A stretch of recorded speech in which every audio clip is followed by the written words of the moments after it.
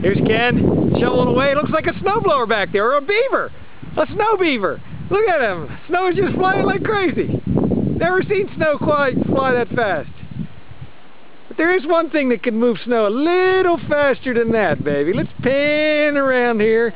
What do we have? The biggest, toughest 4WD known to mankind. Tim would just be crying he would see this snow.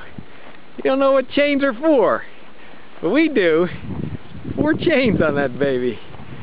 It needs every one of them to get.